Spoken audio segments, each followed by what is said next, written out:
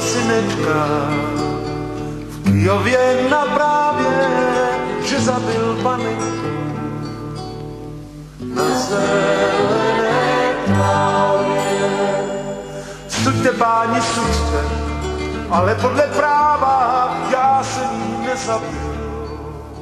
Zabila se sama, vrazila nožeček do levého bočka z té rány vykvetla červená růžička.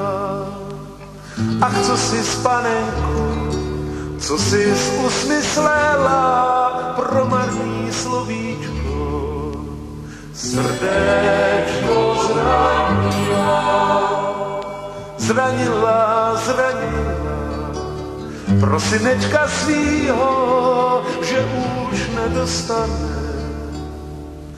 nikdy.